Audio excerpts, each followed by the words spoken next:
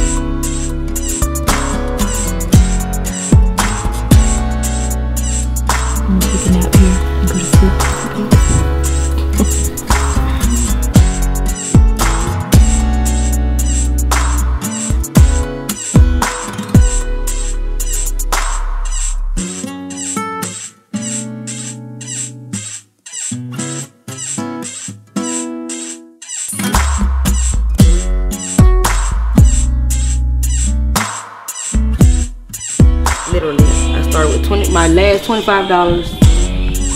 Went and bought some paint and brushes and I set up at a local park and made $400. Hmm, in one day? In one day. How many hours was you out there? Um, I was out there about four hours. $100 an hour, huh? Yep. And how much was the pictures? Um, I was only doing like five to ten dollars face paint. So you was going in there.